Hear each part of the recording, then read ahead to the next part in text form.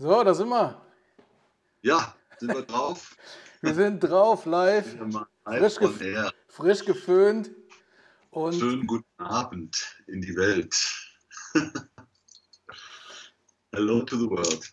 Jo, wir haben uns wieder ein paar Themen für heute ausgesucht. Ne? Aber erstmal gibt es hier so äh, technisches Neues oder verbreitungstechnisch was Neues. Nämlich unser Heimatsender MUX TV streamt uns auch bei Facebook. Allerdings, lieber Georg, sehe ich da noch nichts. Ich weiß nicht, was die da jetzt machen. Live. Ja. Äh, ich mach nochmal. Ne, da ist, sind wir doch nicht. Da ist die Musiktankstelle. Naja, gut. Also, bleibt schön hier bei uns. Genau. Musiktankstelle kann man auch im Replay schön gucken. genau. So, unsere, immer unsere dritte Session schon hier, oder? Hat doch ganz gut ja. geklappt. Ne? Ja. Ist auch ganz nett. Ein lustiges äh, Plaudern. Ne? Ja, absolut. Ne? Immer ein bisschen was Aktuelles und äh, ja, was uns so bewegt, oder? Und gerade heute, ne, ich hätte es äh, ja beinahe verpasst, aber äh, dann äh, ging es ja Social Media total äh, rauf und runter. International Jazz Day. Ja, der ist jedes Jahr am 30. Ja. April. Und äh, Herbie Hancock ist da sowas wie ein Schirmherr. Ja, ich glaube. Und der der moderiert auch. Ach, guck mal, die fangen ja ganz klein an. Die fangen, die haben nämlich jetzt auch einen Livestream gestartet. Ich mache mal aufmerksam auf die Konkurrenz. Natürlich. Ne? Aber das läuft noch den ganzen Tag. Und man kann sich da einen zweiten Fenster angucken. Ähm, die haben direkt mit der ISS angefangen. Mit der was? Eine Message, eine Message aus der International Space Station. Ja, so weit sind wir noch nicht, ne? Nee, das kriegen wir noch nicht hin. Macht aber nichts. Ach, guck äh, okay. Ja, einiges im Programm heute. Auch International Jazz Day. Ja, ich weiß gar nicht so richtig. Also Sie wollen ja nochmal Werbung machen für den Jazz. Ne? Ja, und, also ich äh, bin ja so ein bisschen zwiegespalten immer. Ne? Also ich habe immer gedacht, ich denke immer, wenn man so, ein, äh, so einen Tag hat, so einen Tag des äh, Jazz oder irgendwie, das ist so wie so Tag des äh, Brust, für Brustkrebs oder so. Das ist so eine Krankheit. So. Also, das ist einmal im Jahr dran denken. Ich, ja. ich, ich finde das immer so ein bisschen ja, So ein bisschen an, an, Muttertag, ne? Ja, genau. So einmal im Jahr machen wir der Mami mal das Frühstück, so weißt Aber weißt du was, auf der anderen Seite, ich meine, irgendwie, wir, wir kennen ja viele äh, befreundete Musiker und hören ja die Geschichten, was da gerade los ist, wie die jetzt äh, kämpfen. Ähm, und dann habe ich gedacht, vielleicht ist es jetzt äh, auch mal wieder ganz gut, wenn da jetzt ein bisschen, ein bisschen Fokus drauf ist. Ne? Und dann mit so einem Tag, wer weiß, was man da nochmal äh, an Aufmerksamkeit kriegt. Aber vielleicht ist dann gar nicht so schlecht. Ne? Ich glaube auch. Ich glaube, das ist, weil du an dem Tag auch dann äh, Synergien bündeln kannst. Ne? Du kriegst dann viele, viele Acts zusammen. Jetzt in dem Livestream habe ich einige große Namen gesehen. Herbie Hancock moderiert da irgendwie und äh, Quincy Jones war natürlich auch schon im Bild. Also da kriegst du natürlich die ganz großen Namen da irgendwie äh, alle auf einen Tag gebündelt, komprimiert. Ja. Das ist dann schon eine geile Sache. Ne? Ja. Also, ich weiß gar nicht, wie sonst, wenn, wenn kein Virus grassiert, machen die dann ein Festival auch oder sowas? Ein Live-Festival? Ich glaube, da gibt es schon dann auch Live-Konzerte. Ja, ich glaube, da gibt es dann schon auch eine, eine Live-Gala, wo dann diverse spielen. Müsste man jetzt mal, sind wir ja natürlich wieder nicht äh, darauf vorbereitet. Aber ich meine, ich erinnere mich, dass da auch wirklich dann Live-Konzerte gewesen sind. Ja, ja, ja. Aber was, ja. ganz, was ganz interessant war, ähm, dass äh, zu diesem International Jazz Day hat unser äh, guter Freund von jazzfun.de, der Jacek Brun, der hat in Kooperation mit ein paar anderen so, einen, äh, so eine deutschen quasi nicht Ableger, aber Unterstützer ins Welt, in die ja. Welt gerufen. Und das ist Jazz Day Germany. Jazz Day Germany, genau, pass mal auf, wir können das mhm. mal zeigen hier. Ich kann ja mal, äh, warte mal, wir haben ja, hier sind ja äh, warte mal. Muss mal umschalten hier. Mhm. Ähm, so, hier. Jazz Day Germany. Und äh, das ist auch genau wie wir gerade gesagt haben, einfach um die Leute irgendwie nochmal fett zu unterstützen. Ne? Die sind jetzt, haben das gerade erst aufgezogen, sind jetzt dabei, man sieht das hier. haben schon diverse äh, Jazzmusiker, jetzt nicht nur aus Deutschland, sondern auch äh, aus der ganzen Welt. Ähm, viele, also viele Namen hier, das äh, habe ich noch nie gehört, äh, die die hier mhm. einfach nochmal ein bisschen promoten und unterstützen. Und das finde ich ganz gut. Also hier, ja, super. Alles, alles hilft. Ne? Alles ja, hilft. Ne, hilft einfach irgendwie auch die, die Musiker, deren Plattform, deren Musik irgendwie zu verbreiten. Mhm. Ähm, mhm. das finde ich ganz gut. Und der macht das zusammen mit, muss ich gucken. Warte mal, hier. Ähm, genau, mit jazzreportagen.com, auch so eine mhm. Seite, irgendwie äh, mit coolen Interviews, Berichten und so weiter. Und hier Martina Weimar Promotion. Also die drei haben sich da zusammengetan, um das Ganze irgendwie nach vorne zu bringen. Und der Jacek hatte mir gesagt, äh, er wollte das eigentlich natürlich schön auf der Jazz Ahead äh, auch promoten und äh, darstellen und so, aber die ist ja jetzt auch ausgesetzt dieses Jahr. Ja, die ist auch ausgefallen. Ne? Das war auch so eine, ja, gut, das ist natürlich eine Veranstaltungsplattform da irgendwie, ne? Da geht's ja, da geht es um, um Connections und irgendwie, ne? ja klar, da werden die, verdrahten sich die Leute miteinander, ne? Und mhm. äh, ja, musste man dieses Jahr auch eigentlich gar nicht machen, ne? Hätte ja auch zu nichts geführt, weil keine Konzerte. Nee, die Konzerte hätten ja eh nicht stattgefunden. Ja, ja, ja, ja, ja. Ja, ich weiß auch nicht, wo diese Reise hingehen soll. Ne? Hat eigentlich äh, in Miami das äh, Snarky Puppy Festival noch stattgefunden oder fiel das auch schon in die Corona-Zeit? Nee, ich glaube, das hat noch stattgefunden. Ich glaube, das ja. hat auch stattgefunden. Wenn ich mich richtig erinnere, mit den üblichen äh, Clips, das müsste ja im Februar gewesen sein. Ja. Ähm, ich glaube, wir waren ja auch im Februar da. Ne? Das war wir so waren im Anfang, Februar. Anfang Februar. Genau. Und ähm, nee, ich glaube, das hat noch stattgefunden und äh, da war auch noch viel was los. Und äh, müsste man jetzt nochmal nachgucken nach den Clips und so, aber das. Äh ich bin nämlich über gar nichts gestolpert, irgendwie, also über Facebook, irgendwelche Konzerte. Das ist einfach schon wieder so. so. lange her. Die sind ja auch so, äh, ich glaube, bei denen in der Timeline ist das schon zwei Kilometer nach unten, weil die so viel Zeug da raushauen. Du kommst ja gar nicht mit, was ja. die alles irgendwie jeden Tag da. da äh ja, die machen ja aktuell so, äh, so Workshops, ne? auch ja. fast täglich ein anderer aus dem Kosmos, Ground-Up Kosmos, Naki Papi Kosmos und dann äh, kann man sich da einloggen und kann äh, so viel zahlen, wie man möchte.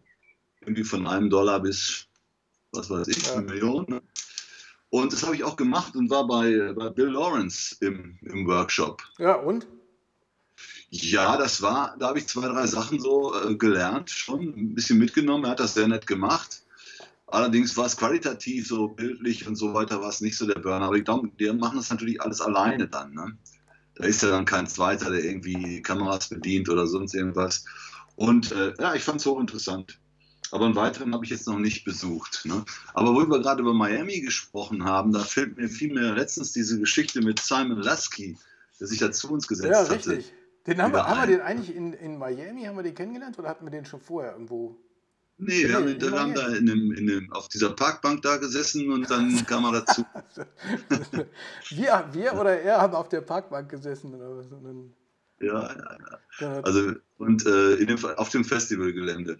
Und dann hat er uns erzählt, dass er Musiker ist, ein Pianist aus England. Und äh, dann haben wir hinterher geguckt, was er so macht. Und er macht total verschärft geile Platten. Also der hatte da, glaube ich, sein erstes Album am Start. Mittlerweile gibt es, glaube ich, ein zweites. Und äh, der hat letztens dann gesagt, dass er, was er ganz besonders äh, toll fand, eine Sängerin, Cecile McLaurin Salvant. Und ja, jetzt die wahrscheinlich... haben wir dann auch angehört mit, dem, mit, dem, mit der Platte The Window. Und das ist ja mega Jazz. Also die hat eine total tolle Stimme. Und weiß hier gerade bei, ich habe mir gerade geguckt, äh, ähm, International Jazz Day Live, war sie auch direkt mit drin. Ja, natürlich. Ja, wahrscheinlich. Ja. Wahrscheinlich äh, schreiben uns jetzt irgendwie die, die drei Leute, die zugucken, irgendwie, was seid ihr für Vögel? Ne? Natürlich, das ist die beste Sängerin auf der Welt, hat irgendwie 24 Grammys bekommen. Ja, aber manche Sachen erfährt man halt irgendwann zum ersten Mal und so war es hier auch. Ne? Umso mehr freut man sich, wenn man es das doch nochmal entdeckt hat. Ne? Ja, klar, mal. Ich kann mal ich freue mich ja immer, wenn ich mal rauskomme aus den, aus den alten eigenen Gewässern, so, ne? wenn ich mal ein anderes Ufer entdecke und äh, das war jetzt die äh, Cecile, fand ich schon sehr, sehr gut. Ne? Und äh, ähm, wen ich auch toll finde. Sollen wir da mal reinhören? Die, äh, bitte? Ja, sehr gerne, sehr gerne. Die hat nämlich letztes Jahr äh, einen Grammy bekommen ähm, und eine, für ihr Album äh, The Window, glaube ich.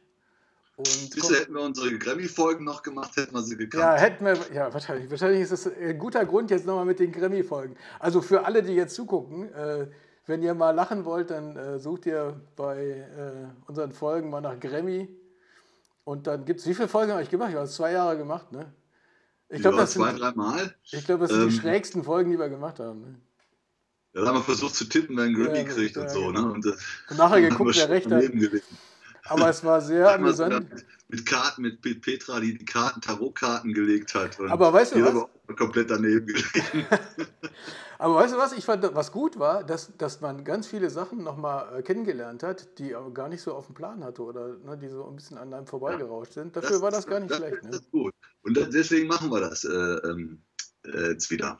Ja, was sind die Grammys sind gerade vorbei. Also machen Wir sind gerade vorbei im Frühjahr wieder. machen wir ja, wieder ja. dann nächstes Jahr. So, Nächstes Jahr sind wir wieder am Start. Dann lass mal hier mal reinhören äh, von der Platte The Window One Mhm. Step Ahead. Ich lasse es einfach mal laufen hier. Ne? Hör mal rein. I'm only one step ahead of heartbreak,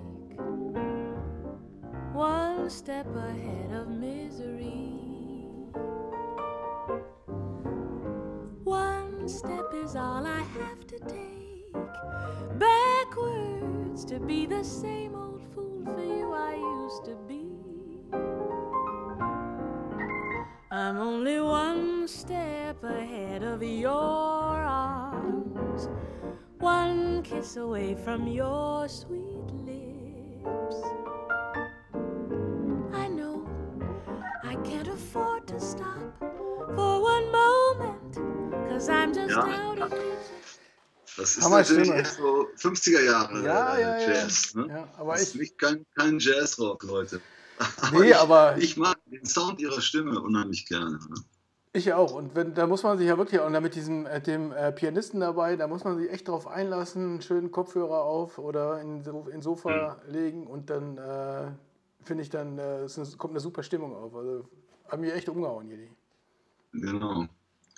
Und das, so einen ähnlichen Effekt hatte ich auch bei der äh, Hayley Lauren. Mit der sind wir ja schon, das ist eine äh, Sängerin aus Alaska. Ja. Und äh, mit der bist du ja schon in Kontakt, dass wir die vielleicht mal dazuschalten. Ja. Aber Leute, hört da mal rein. Hayley, H-A-L-I-E, Ja. Lauren, L-O-R-E-N.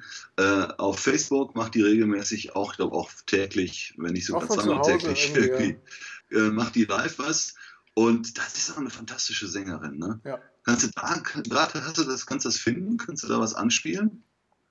ich suche mal. Erzähl mal irgendwas, dann suche ich. Bitte? Erzähl mal irgendwas, dann suche ich. Loren. Ja, die, die Haley, die hat auch schon, äh, warte mal, die macht schon seit 2004, macht die schon Platten und hat jetzt bis 2018 1, 2, 3, 4, 5, 6, 7, 8, 9, 10, 11 Platten rausgebracht. Und das ist dann wahrscheinlich auch eine Schande wieder mal äh, für so Experten wie uns, dass wir von der Frau noch nie was Doch, gehört pass auf, haben. jetzt sage ich dir, jetzt sage ich dir was, jetzt verrate ich dir was. ne? Ich glaube, die hat uns schon zweimal äh, Sachen geschickt. Ja? Ja, Promo-Sachen. Aber das Problem ist natürlich, dass bei uns unser, unser, unsere große Tonne, äh, wo die ganzen Promo-CDs liegen, die ist äh, immer so voll. Ähm, Ja. und da ist das- das eine von den, von den Schätzchen, die da irgendwie untergegangen ist. Ne? Und weißt du was, wir, Ralf, wir waren ja gestern im, im Studio ne? und haben so ein bisschen uns umgeschaut und dann habe ich einfach mal so einen ganzen Sack voll von den, von den CDs da aus unserem Promo-Ding mitgenommen.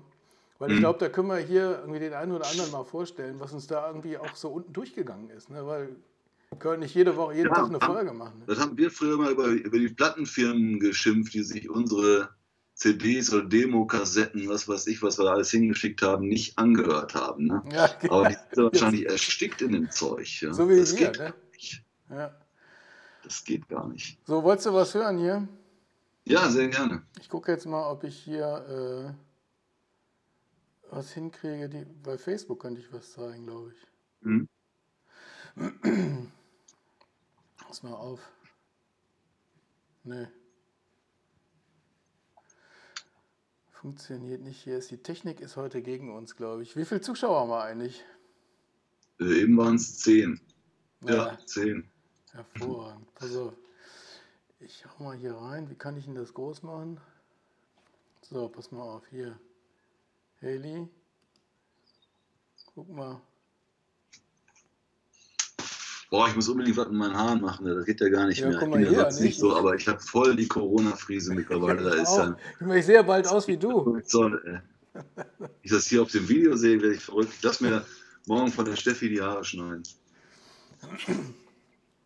Hello. So, guck mal hier. Welcome to my karaoke session. I have never done this before. I am a little scared, a little excited. Okay, I'm a lot excited because this concept just seemed way too much fun. To not Hast du sich do einen it. tollen Hintergrund gebastelt. Ja, So here we are. You are here for my first ever karaoke extravaganza performance. I've made this very fancy for you guys as you see. Vortune.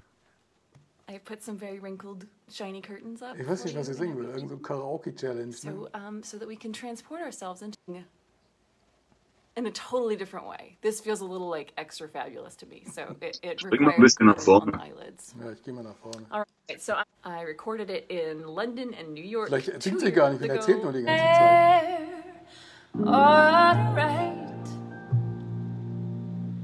A song about the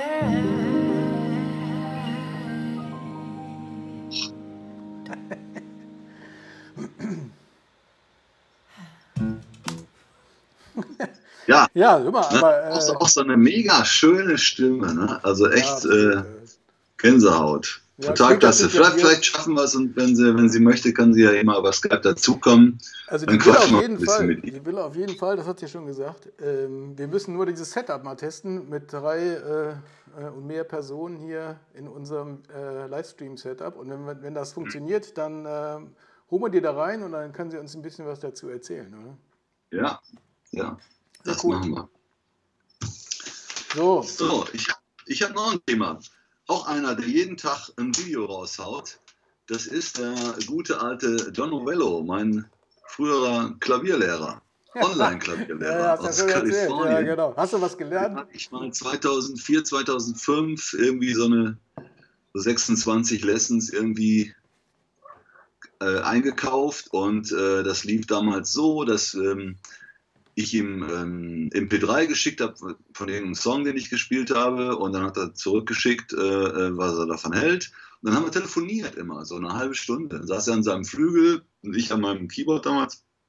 Und äh, dann gab es eine halbe Stunde One-to-One-Unterricht und richtig nett, aber auch nicht so, dass der alles so durchgehen lässt. Ne? Wenn er gemerkt hat, ich habe zu wenig geübt, dann hat er mir gleich gesagt, ne? du Ja. musst mehr tun und so. Ne? Ja, So und früher, in ja, habe ich damals äh, dann auch ein Buch gekauft, das er schon vor langer Zeit geschrieben hat. Das ist ein mega Schinken, Ja. irgendwie so Telefonbuchstärke. Da steckt noch mein Bleistift drin, weil ich da so viel drin gearbeitet habe. Und das ist quasi ähm, alles, was ein Keyboarder wissen muss. Oh, An. Harmonielehre und äh, na, Spieltechniken. Also wenn man das durch, ah, jetzt ist hier ein bisschen so eine Notiz drin, da habe ich auch schon drin gearbeitet ab und zu mal. Und hier, das ist, das ist natürlich, das ist, ähm, das ist einer der besten Freunde von John, das ist Chick Corea. Habe ich noch Ja, nie gehört. Wer ist das- das? Kennt man den? Muss man den kennen? Zu diesem, zu diesem äh, Buch geschrieben. Und äh, das ist, also, wer so ein komplettes Ding haben will, das ist eine tolle Sache, speziell für Keyboarder von unserem äh, Freund Rick Beato, YouTuber. Ja. Kann man sich auch mal angucken. Der hat in den letzten Jahren hunderte von äh, YouTube-Videos gemacht. Ist auch sehr erfolgreich, hat über eine Million, mittlerweile 1,2 Hier, Millionen Abonnenten. Und Rick Beato hat auch ein Buch geschrieben. Ja, so hast du schon. Everything Music. Genau. Ja, Mit Rick Beato. Da gibt ganz, ganz viel zu entdecken. Also der erzählt nicht nur über Musiktheorie, was er, das macht er viel, äh, äh, ähm, nimmt auch so Songs auseinander. What makes a song Ja, great heißt die ne? Ne? Und das ist, das ist auch toll, weil der hat oft die einzelnen Spuren von Original Ich weiß Recordings. nicht, wo der die herkriegt, ne? aber manchmal. immer, wird er immer wieder gefragt, dann lacht er nur so in sich rein, naja, woher wohl? Und äh, er, er bekommt die von, von den Bands teilweise, von befreundeten Toningenieuren. Er war halt selbst lange als Producer unterwegs, hatte sogar mal einen Nummer 1 Hit im Country ähm, Genre. Und also Rick Beato auch zu empfehlen. Und der hat das Rick Beato Buch, Buch geschrieben. The Rick, Rick Beato Book. Das kann man online kaufen als äh, PDF. Und das ist auch super. Das ist auch komplett alles, was man über Harmonielehre wissen muss. Ne? Aber jetzt ja. nochmal zurück zu ähm, John Novello. John Novello ist auch ein hervorragender äh, Hammond-Spieler. Und das tut er mit seiner Band Niacin.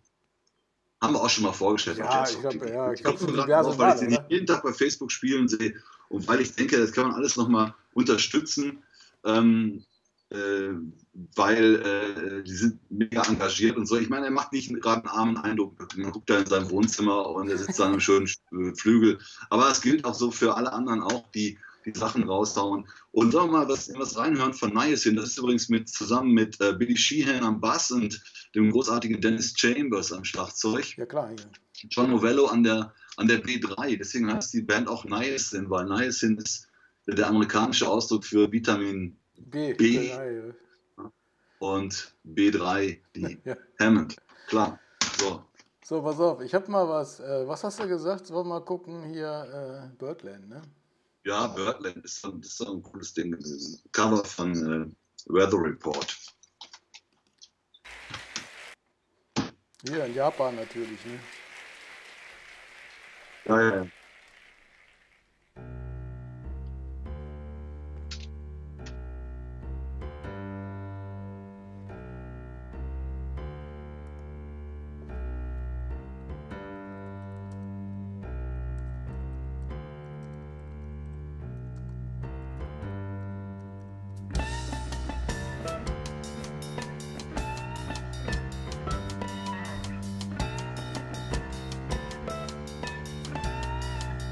Da los? Da ist ja.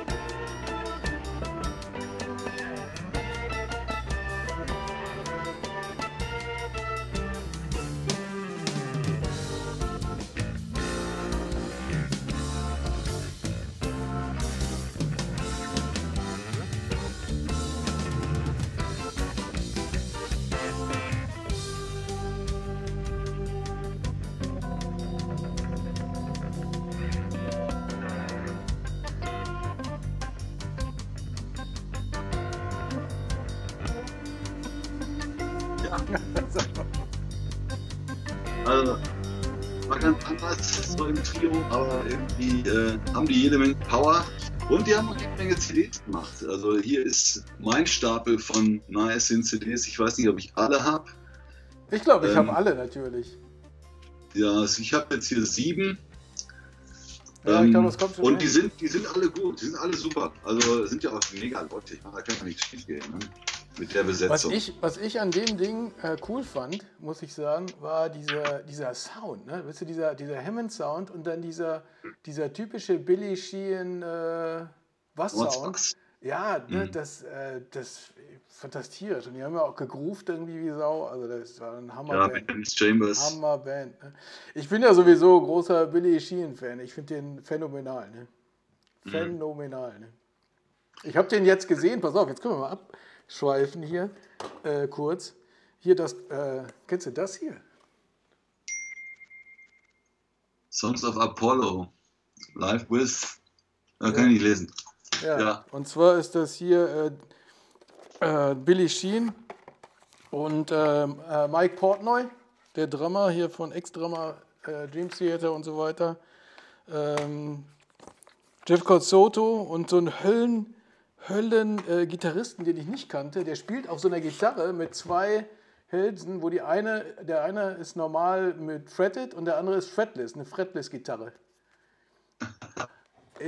der totale Wahnsinn. Ne? Und die haben hier so ein Live-Ding rausgebracht, das ist der totale Oberhammer. Ne? Die spielen äh, so auch so Instrumentalsachen, das ist wirklich so Heavy, Heavy Fusion-Zeug. Also das ist, äh, hat mich total umgehauen. Also wenn man so Spaß hat an äh, Hardrock und Heavy Fusion, dann ist das hier äh, Pflichtwerk. Ja, Komme ich nur drauf, weil Billy Sheen da auch irgendwie abgeht. Und er ist ja auch irgendwie Mitte, der, der, Mitte 60 oder der was macht ja auch der, ne? viel ähm, äh, äh, Unterricht und so weiter. Ne? Hat auch ein paar äh, Lehr-DVDs äh, rausgebracht. Und das muss ich gerade mal gucken. Hier kam gerade eine Nachricht von, ich weiß nicht, ob du das sehen kannst, aus dem Auto von Aus dem Äh, Auto. aus dem Auto von Valentina und Claudio und Attia. Die sind gerade unterwegs und hören unterwegs bei TV Live bei Facebook. Und Ja, dann liebe Grüße nach da draußen. Ja, herrlich. vorsichtig. Ne? immerhin ein Beweis, dass irgendwie draußen was ankommt. Ne? Ja, und nicht während der Fahrt gucken. Ne? Schreiben, die waren gerade auf einem Rastplatz Ja, in ja, Herborn und wir live im Auto. ähm? Also während der Fahrt darf nur der Beifahrer das Bild sehen. Ach so. Ja, wunderbar, das ist doch schön. So, ich habe jetzt noch, du, ich Ja. habe jetzt hier noch was, äh, was ich eben gesagt habe. Ne? Ja. Äh, in, ich habe noch was gefunden, äh, wenn die Zeit noch ist, für so einen Fundus, den ich aus dem Stapel rausgezogen habe, den wir gestern Mhm. im Studio mitgenommen haben. Ne? Ja. Und zwar ist das hier äh, eine Band aus Israel ähm, um einen Gitarristen, der sich May Fall nennt. Mhm. Und die heißen, warte, ich kann das mal hier zeigen. Mal gucken, ob ich das hier rüber kriege. The May Fall Crew. Was, wie, wir könnten vielleicht hinfallen oder was, ne? Keine Ahnung. Aber das ist hier auch ein, ein cooles Fusion-Projekt äh, um, diesen, um so einen um Pianisten. Und wenn du magst, dann gucken wir da mal ein Stück rein, weil die haben nämlich auch hier eine Platte rausgebracht, schon letztes Jahr. Und haben da auch ein äh, Video. Und äh, da können wir auch mal reinhören hier, oder? Pass mal auf, ich lasse das mal laufen. The May Fall Crew. Mhm. Passt ja zum 1. Mai. Genau. Tanz in den Mai mit Jazzrock TV.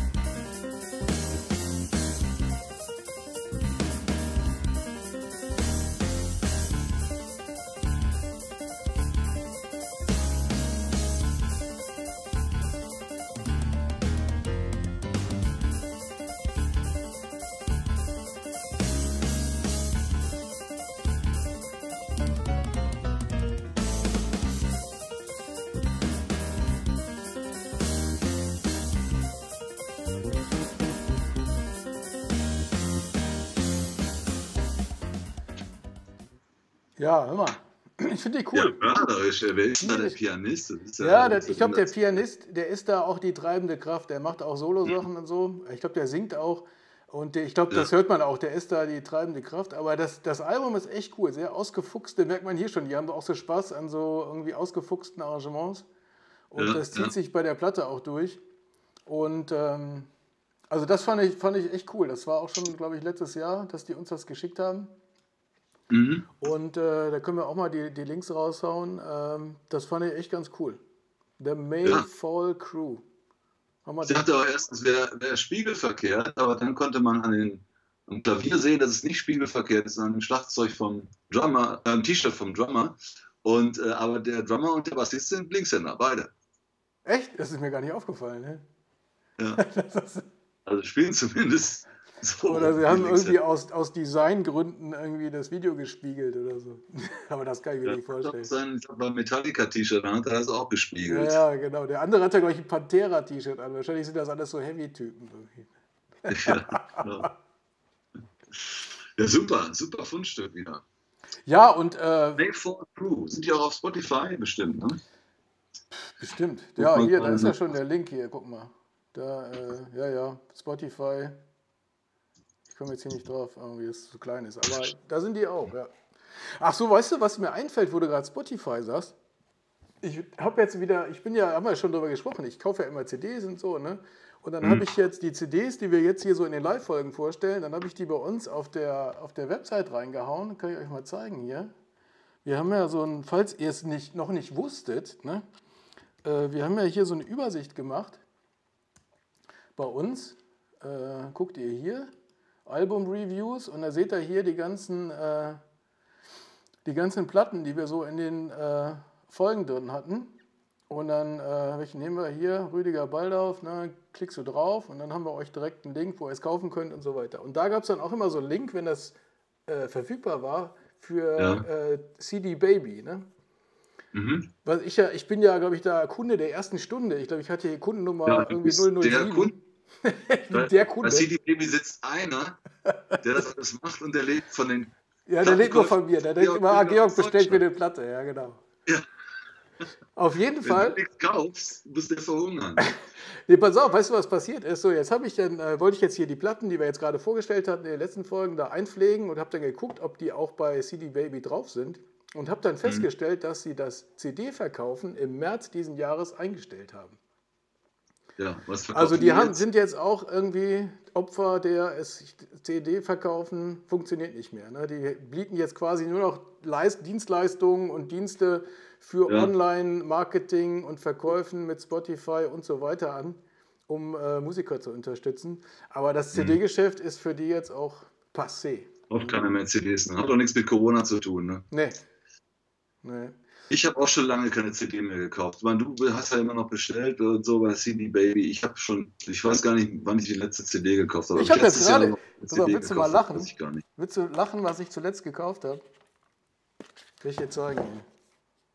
Warte mal, ich ein besonders schönes Cover. Hier, guck mal.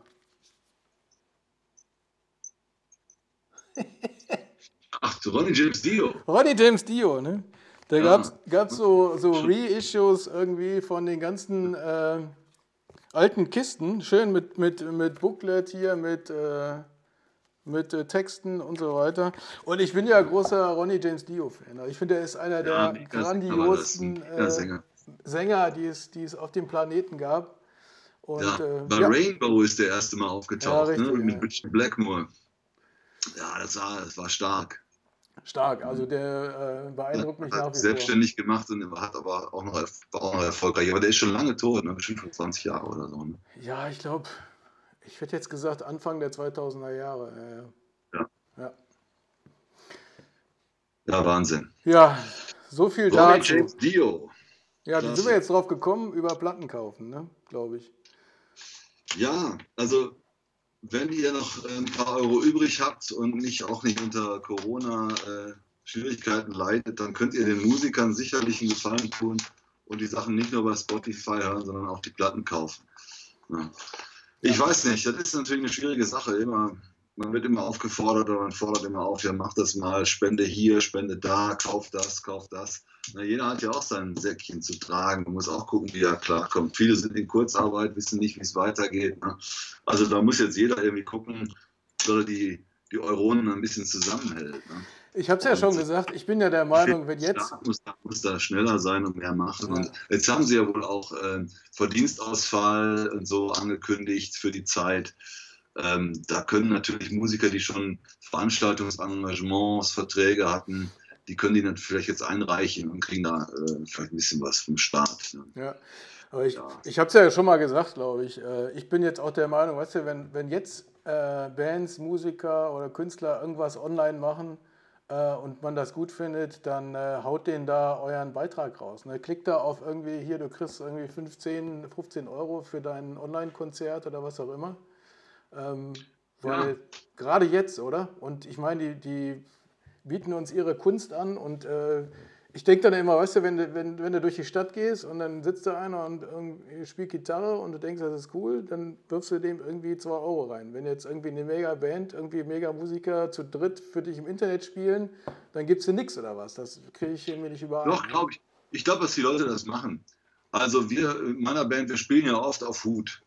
Mhm. Ne? Und ähm, wenn wir im großen Venue sind oder so, also meistens ist der Schnitt 5 Euro pro Person, die da sind. Ne? Und äh, wir haben in Mülheim auf so einem riesen Ding gespielt, da waren 2000 Leute. Die, die haben wir gar nicht alle erwischt, aber wir hatten einen fetten Hut hinterher. Ne? Mhm. Und äh, äh, da, die Leute geben schon, auch wenn es freiwillig ist. Ne? Und ich denke so fünf, wenn man sagt, äh, okay, überweise ich mal fünf Euro für ein Online-Konzert, wenn der, wenn der Link angeboten wird. Wenn nicht, kann man die CD kaufen. Wenn man beides nicht kann, dann genießt man es halt umsonst. Und wenn es wieder gut geht, geht man zu den Konzerten. Ja. Ne? Ja, es wird schon, ich, ich hoffe, wird dass schon für, für alle, die betroffen sind, ähm, dass da eine Lösung gefunden wird. Siehst du hier, Harald, Harald Jungowitz schreibt, er kauft immer noch CDs. ne? Hier, unser Freund Harald Jungowitz aus Ratingen Ja. schreibt, er kauft immer noch CDs. Harald, du bist mein Man. Bist- Ja, Zuletzt die jüngsten beiden Alben von Tower of Power. Und pass mal auf, hier, Harald, meinst du das hier?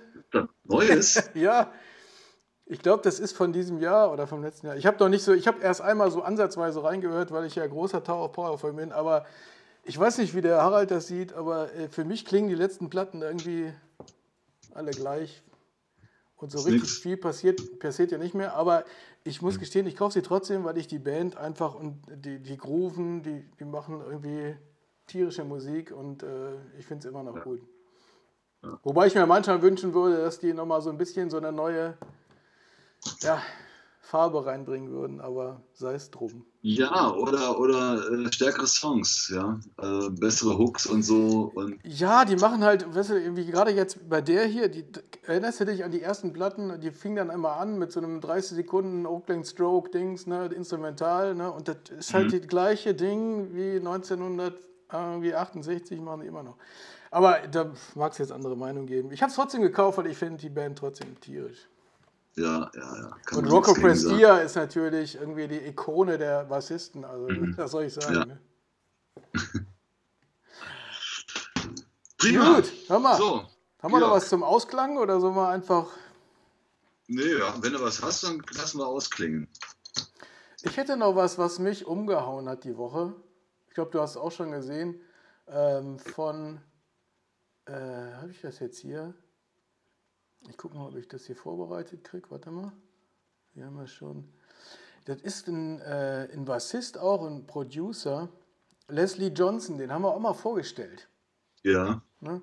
Okay. Und der hat, der macht ja auch immer so, äh, so, so Videos irgendwie mit, mit äh, anderen Leuten, die auch in ihren eigenen Studios was einspielen und nachher zusammengeschraubt werden. Ich glaube, das Video ist jetzt schon was älter, äh, von 2015 schon. Aber der hat eine Coverversion von Stratus gemacht mit einem unfassbaren Gitarristen. Und das fand ich sehr, sehr cool. Und wenn du Bock hast, gucken wir uns das zum Ausstieg an Ja, machen wir doch. und äh, haben unseren Spaß dabei und wir verabschieden uns danach ins Wochenende, oder? Wie sieht's aus? Genau. Ich muss noch zum Tanz in den Mai. Großveranstaltung hier. Vorne in? Köln. Hm. Im Oder Garten oder So. zwischen Das haben, die Toilette. doch, das haben die doch wohl nicht abgesagt. Tanz Ü50, Tanz in den Mai. Habe ich. Ah, Über Ü50 kannst du gerade noch hingehen, ne? Ü- ja, ja. du Drecksack. Wer die letzte Folge geguckt hat, weiß Bescheid. Ja.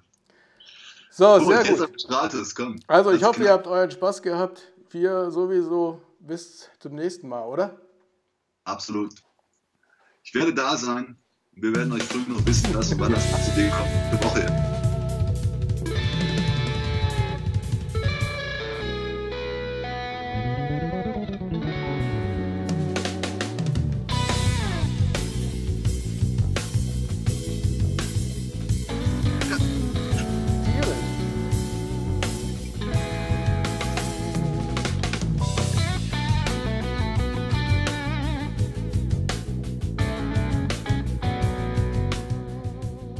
Der, Gitarrist der erinnert mich an Guthrie Govan. Von, äh, na, wie heißt? Ja. Aristocrats, ne?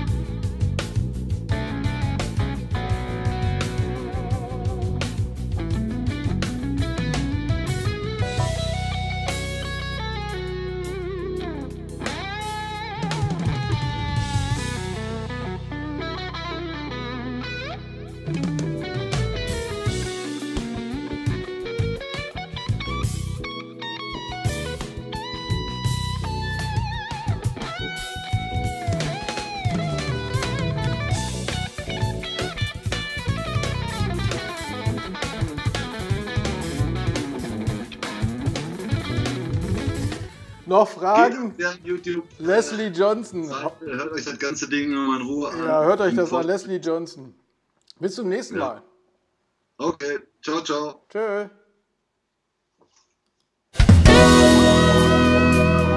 Outstanding.